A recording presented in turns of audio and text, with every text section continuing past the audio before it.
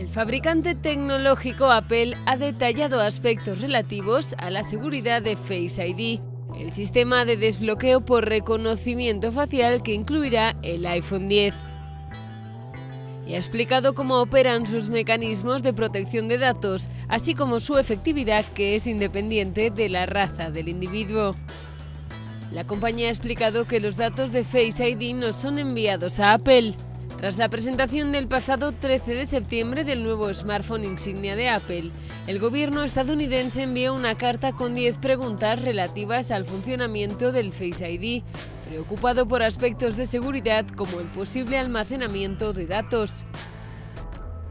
En la práctica, Face ID descarta automáticamente las imágenes faciales que toma tras someterlas al análisis matemático y los datos que almacena se encuentran encriptados y sometidos al sistema Secure Enclave, el mismo utilizado por el anterior sistema de desbloqueo por huella Touch ID.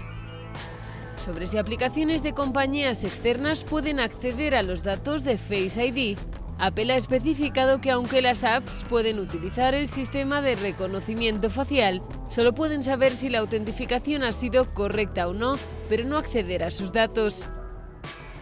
Entre las dudas del gobierno se incluyen también otras cuestiones que Apple ha dejado sin contestar, relativas a cómo respondería la compañía a un requerimiento judicial de la información de Face ID.